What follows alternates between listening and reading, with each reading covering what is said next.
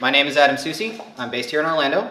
Uh, I'm part of the organizing team for both the meetup and for WordCamp Orlando. I've been the speaker uh, speaker coordinator the last three years, and originally I was going to retire this after last year, but with the cancellation and everything, I can't I can't go out on a note like that. So uh, I'll stick around for at least one more year. Uh, I'm also a big accessibility advocate, uh, thanks to again we'll blame Jeff. Uh, member of the the WordPress accessibility team as well, and the along with the focus of this talk, I'm a big mental health advocate.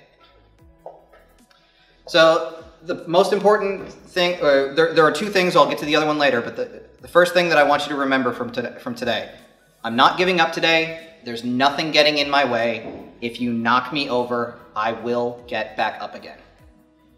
It's goofy because it's a line from the Trolls movie in a, uh, a song that's like absurdly happy in a way that's almost frightening. And actually, articles were written about how it sends a bad message that you always have to be happy. But this attitude in this song, throughout the entire the entire three minute piece, the character is killed like what or should have been killed at least five times, and every time she survives, including uh, being eaten a few times, and that's the true message here is no matter what you go through in life, unless it literally kills you, you will get back up again. It's gonna suck, but you will keep going. So now we're gonna talk, we're gonna have a little story time.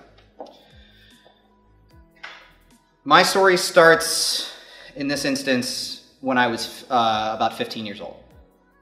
I was going through just what at the time we thought was typical teenage stuff.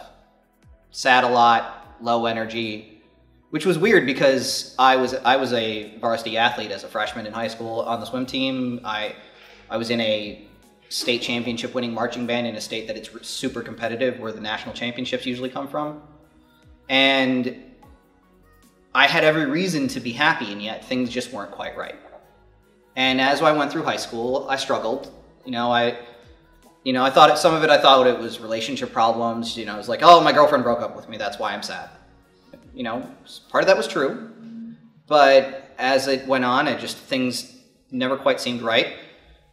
Tried uh, going to a therapist a little bit. Wasn't, I, I, don't think I went to a very good therapist looking back on it. I also spent a, a good amount of time uh, trying out a few different medications, but this is over 15 years ago, antipsychotic medications at the time were not very good.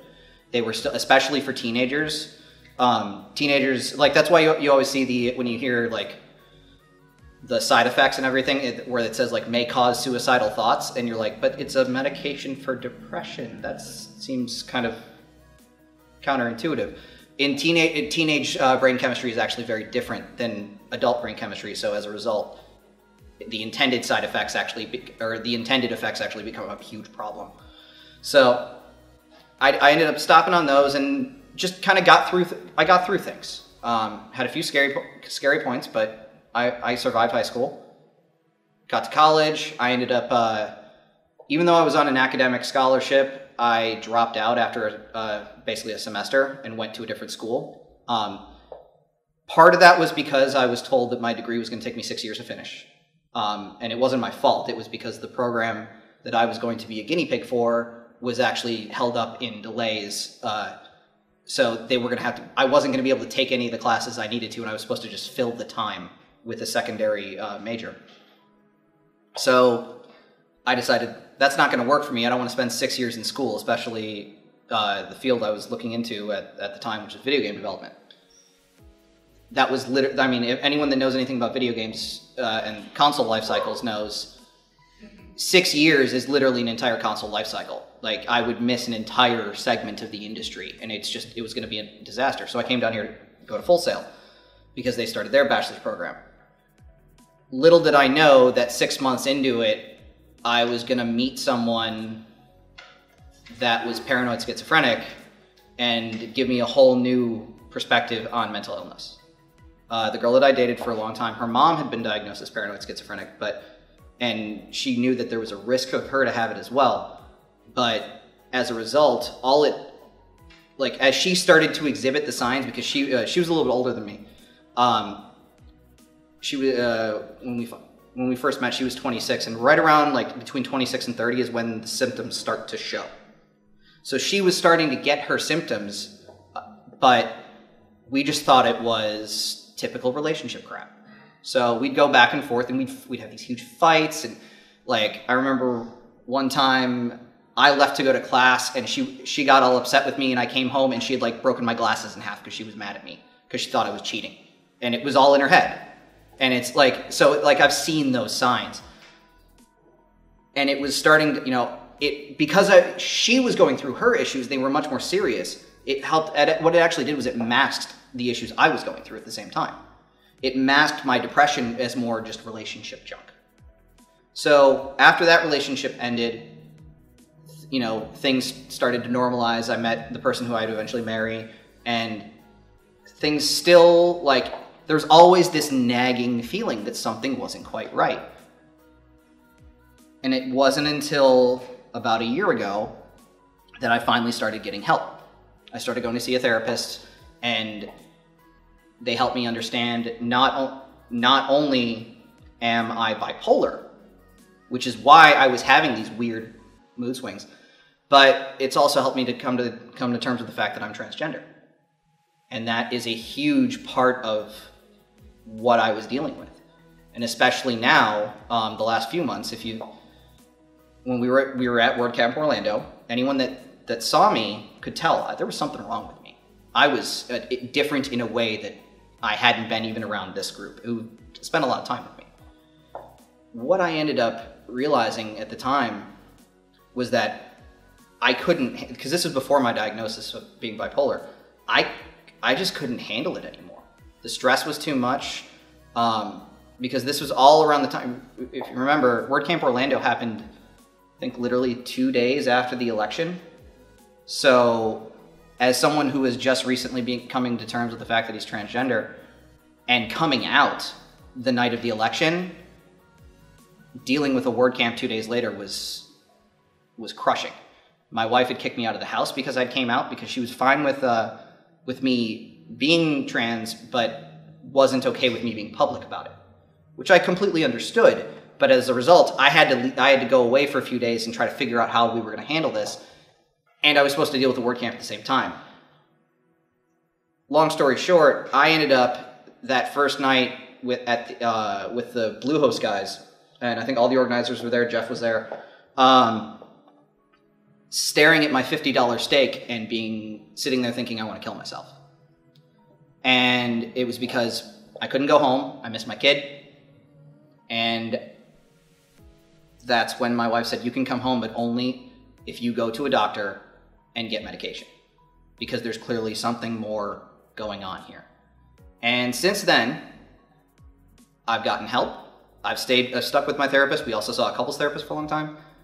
And even though now this has progressed into me getting divorced and going through a complicated legal situation, the last six weeks, especially once things have kind of normaled out for my medication, are the happiest I've been in 10 years. And it's because I made the point to get professional medical help. Because at some point, mental illness is not just you feel sad, that you need to, uh, I'll explain this in a second, that you need to just try to be happy. You, at some point, you need to go further. And that's one of the reasons why I got this tattoo. A, this is for the Miami audience. Um, the reason I have this, and the, the location is very specific. I got this tattoo because it's a reference back to that song. It's a, it's a pink poppy flower for the character. But it's also on my wrist because it's where I would have cut my wrists if I, if I decided to go to kill, to kill myself. And so what I wanted was a permanent reminder of where I'd been and that I would survive. That every time I felt dark, I, all I would have to do was look down and re remember that I'm gonna be okay I'm gonna get through this. There are a lot of symptoms of depression, and if you if you read through this list, you'll notice a lot of them kind of contradict each other, uh, such as waking up too early, excessive sleepiness, insomnia, but or restless sleep, like just the sleep aspects of it it's really hard to figure out is it depression or are you just sad? Did you just not get enough sleep? But I highlighted the one in yellow. The cognitive ones are, to me, the most telling signs that you have a much more serious problem that needs to be dealt with with a professional. The inability to concentrate, general lethar- uh, lethargy, and thoughts of suicide. If you are truly thinking, and this is this goes beyond the like, you're in a bad situation and you just kind of want to curl up and die. That's one thing. Thoughts of suicide are you're in the kitchen cutting an apple and you figure you keep looking at the knife and going, maybe I should just end it all right now. I've been there. It's not fun, obviously. But it's it's a sign that you need professional help. And it's a sign that you don't need your friends telling you to just try to be happy. Spend more time outside. Just exercise more. Now, a runner's high is a real thing. Anyone that, do, that runs uh, on a regular basis, that's real. But it's, it, it's actually further proof that you need to be medicated. Because what the, the runner's high does is it replicates the effects of a lot of antipsychotic meds and a lot of antidepressant meds. Because all, it, all it's doing is increasing your, your brain's chemistry for that temporary period of time that's making you feel better. What those drugs do is they do that all the time, even when you're not running, even when you're sleeping. It helps you, it helps normalize out your brain chemistry. And that's why any advice you get from friends that's not a, that isn't an actual doctor or a therapist, at minimum take it with a huge grain of salt, but most times ignore it. Unless they've been through it. So if, they, if there's someone that, hey man, I've dealt with depression, you need to go see a doctor, if that's the advice, take it. So what to do? is get help. Talk to a doctor, whether it's a psychologist or a psychiatrist. I recommend seeing uh, if you're psych if you go to see like a therapist's office and they're tied to a medical practice like mine is, they can basically make recommendations to your doc, your primary care physician, and then your primary care physician, if they have the knowledge, will will give you a prescription for whatever drugs they think are, are appropriate. But if you want to take this really seriously, go see a psychiatrist because they can they are basically a therapist and a doctor at the same time. My personal experience with psychiatrists hasn't been all that great because they tend to be more on the doctor side than the therapist side. So they they go to the the standard medications instead of looking at your individual history. Um, but still, the standards are really solid. I actually just had a, a, a session with my therapist this morning, and right before that, I saw my doctor, and we talked about adding a medication just as a trial to see how much more effective it would be. The idea is it takes time. Um, most most meds it takes a minimum of three months to really get into your system and start normalizing you out. So you don't really like you might feel a little bit better, but over time you're going to increase your dosage sometimes you're going to draw back your dosage if it's if the side effects aren't good for you but the, the point is you need a doctor to guide you through that process I, I know too many people especially in the trans community that will try to self-medicate through things they find on reddit or you know articles they read online or holistic meds that are trying to replicate the replicate the idea uh, and the effects of the meds without doctor supervision, and as a result, they completely throw everything off, and it actually makes it worse. So that's why having a doctor to guide you is so incredibly important. These are a few of the resources um, that you'll want to consider if you're if you are struggling. Um, this first one, the text line, is a it's just you text connect to that number uh, 741 741 and you'll get to talk to a there's someone on the other line that will just talk to you because some, some nights that's all you need. Is like, hey, I'm really feeling down. I just need to talk to someone. Uh, the same for the, the two phone numbers. The first number is just a general talk line for depression and other, other issues, whereas the number below it, they're run by the same group, but the, the, the second number is specifically a suicide hotline and it is meant for people that are genuinely thinking about killing themselves and they need someone to talk to basically to convince them not to. Sometimes that's all you need is you just want someone to tell you, no, your life is worth living. Please keep pushing on. That's the line you call. Um, you can find more information at SPS, spsamerica.org. Um, that's the suicide prevention uh, charity, and because this was for Miami, uh, Miami does have a local suicide prevention line as well. Um, I'm n- I'm pretty sure Orlando does. I just don't. I didn't have time to update the slides. And with that, questions. Yeah. So how far are you into your treatment? Uh, it's been four months now on meds. How do you feel? Great, especially the last six weeks, which the last six weeks have been the most trying time. That's how I know the meds are really working. Um, six weeks ago is when I was like, the divorce process really ramped up, and I'm now out of my house. Like I live in a, I live in a room this like the size of this kitchen, like i- i- at my mom's place because that's all I've got right now. But oddly, I'm happy because I know I get to be myself. I'm the meds have been in my system for long enough that they're being they're very effective, and I know that I've got a future. That's a huge part of it as well. It's like that reminding myself every day that it's it's gonna get better. That's why like back what was it five six seven years ago now the it's get better it, it, it gets better videos started popping up on YouTube.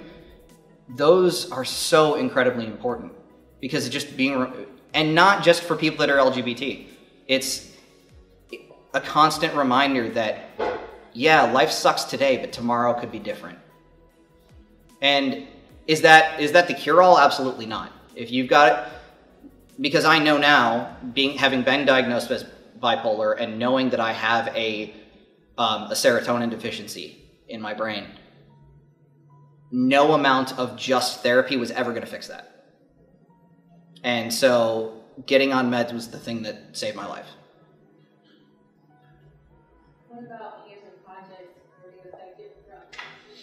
Fortunately, not much. Um, the one project that I was I was heavily involved in, um, which actually just launched a few weeks ago, was the a complete overhaul of the one of the outlet stores, uh, their website, and because I was very open with them about what I was dealing with, even um, as the divorce process started, they understood like if you need to take a day, take a day, because at at the end of it, our website, we know it's going to get done. We know you're committed. You know, if they, if they had maybe gotten concerned that I was going to be, I was going to abandon the project, then maybe it would have been different. But otherwise, they were super supportive. I had other like, even when I had to tell clients uh, just recently, like, I've got a new phone number. I've you know, I have to change my address. So if you have to mail me anything, like a couple clients that mail me checks, make sure you mail them to this new address. They were all very supportive. Like anything you need, if you need a break or if you just need someone to talk to, give us a call. Like clients have been very supportive, and that's why I'm a huge proponent. And the when you're talking to your clients, just tell them what you're going, what's going on in your life, especially if you're like a solo business owner like I am, because they understand that people go through. You know, life happens, and if you get a client that doesn't understand that, you don't want them as a client. So, and if you are, if for the people in this room that are just clients, remember that that we are people first. That we go through things every day, and every single day someone is fighting a battle you know nothing about. And there may be nothing you can do to help other than just being nice. I mean, just an example from from my life today. Uh, I went to lunch today, just ran through the drive-through at McDonald's, and instead of being called sir, I was called hun, which meant the world to me because I was I I wasn't in a dress at the time. I was just in jeans and a t-shirt, but because I had makeup on, it was a very clear because every day. I mean, earlier when I was at, at my doctor's office, a guy in the elevator was like, "Hey man, how's it going?" Which I don't really care because I, I actually identify as non-binary, which means I'm kind of in the middle. I use all I use I still use my male pronouns. I haven't changed my name. I don't plan on it. Yet, for people that aren't and that are in transition but just ha- don't have the resources to go through go through like laser hair removal and stuff like that, gendering someone properly the way they're presenting means the world to them. They're, there's transgender people are some of the most at risk for suicide. 42% of people that have that deal with gender dysphoria and don't act on it don't just attempt suicide but finish it. 42%. So it it's kind of a down note to, to end on, but just think about that. Um, and if you are ever going through anything, I am a resource for you. In this community, you can get me, reach me on Twitter, both at my personal Twitter and my company Twitter. Both of my websites have contact forms. And if you want, um, I've got a few of my cards that have my personal cell phone number on it. If you need help, if you just need someone to talk to, I am here for you. Any other questions? Uh, there's been a lot more uh, focus lately on folks, especially in the tech community, mainly people who work from home, on uh, mental health issues. Um, do you have anything in particular that has helped you, maybe, I don't want to say get perspective, but you know, have, working from home Mhm. is kind of tough sometimes when you're working alone all day. Yeah. Um, the biggest the biggest lesson I've learned as far as how to deal with working from home and dealing with mental illness is I make a point, even though it's not always financially the best decision, is I go to lunch every day because it means that I get out of the house and I'm around people. Just being around people can be it can make a huge difference. It's not gonna it's not gonna solve your problems, but it's gonna help. That, that's an it's an important point to consider. The idea that if you're in a some it helps you stay away stay out of that like really dark everything sucks nobody wants to no i mean i, I hell I, I, I dealt with it a little bit yesterday because we were around each other and like when you're with your friends for an entire weekend and then the next day you're all by yourself in a tiny room it's really depressing so going out and going in and having lunch at chipotle cheered me up a little bit and made me realize i could get through the day. Like it's it's little things but you kind of piece them together and you get through it. Any other questions? Yes? Who was your biggest supporter throughout the process, and, and why did you feel supported by them? Um, my biggest supporter, to be perfectly honest, is also the tallest, and that's this guy right here, uh, Jeff. Um, Jeff and I have worked together for a couple of years. Uh, we, we worked at the same agency for two years, and he was kind of my mentor there. And we, even though we both left the company that we worked for, uh, it's been what a year and a half now since I left. Um, we've always stayed in touch. We hang out on, on a regular basis, and I know that he's someone I can call if I really need to. Um, same with David and Lisa and Chris. Like everyone in this community, uh, the WordPress community, has been absolutely incredibly supportive. Um, there's people that live in Tampa that I don't see except at WordCamps. That at WordCamp Orlando, um, Norcross basically hung out with me all weekend because he could tell I wasn't right, and he wanted to make sure that I was okay and he was one of the people that made sure like he brought people to my talk in miami the other day specifically because he wanted to show support so it's you know the wordpress community that's one of the great things about it is just how supportive we are of each other and that's why like if you need someone to, someone to, one to talk to i'm here So something like the support, it was just being there, Yeah. not necessarily saying something specific, but just being with. Exactly. Just knowing that I have someone to talk to. Um, I have some other friends from high school and stuff like that I, that I still reach out to, but you know, it's it's the importance of even if you are an introvert and you don't mind being alone most days. And that's kind of like that's kind of how I am. I'm nine days out of ten. I love being by myself. But that tenth day, I'm a 13 year old girl crying in her bedroom, wishing, thinking everybody hates me and that's where I was last night. So uh, like we all, we all go through it, and it's having friends and having people to talk to. That even if that even if that person to talk to is Twitter, if you are able to interact with people on Twitter, like it makes the world a world of difference. I I, I know a, tra- a a friend I have on Twitter that yesterday was misgendered like five times within the space of two hours, and she was just despondent. But me reaching out to her, I know made her day better because I was like, no matter what anyone says, I still think you're gorgeous, and that's all that matters. So, yes, Have a of things that uh, that you didn't think people should say. You know, like oh, just go exercise and try to Mhm. Um, a lot of people, similar to your question, I think a lot of people uh, want to be supportive, but maybe don't know how. yes. Um, is there advice?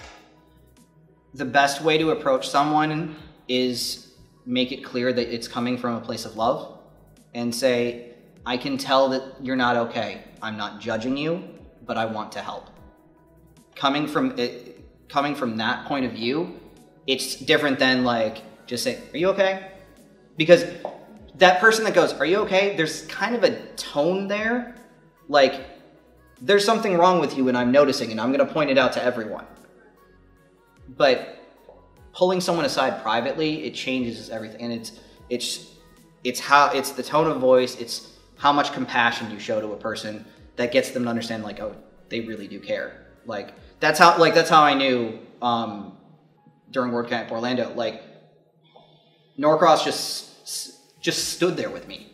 It was like, oh hey, do you want to do this? It was his tone of voice was very clear that I'm gonna hang out with you because I know you're going through some stuff. So it's not not being overt about it, but showing that like you want you showing that you care in a way that isn't look at me, I'm the person that cares. Uh, there's a uh, a stand-up comedian. He does a, a, bit about how he makes jokes uh, um, during tragedies.